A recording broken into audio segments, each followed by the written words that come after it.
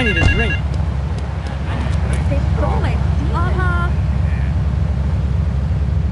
Those nines are pressing me.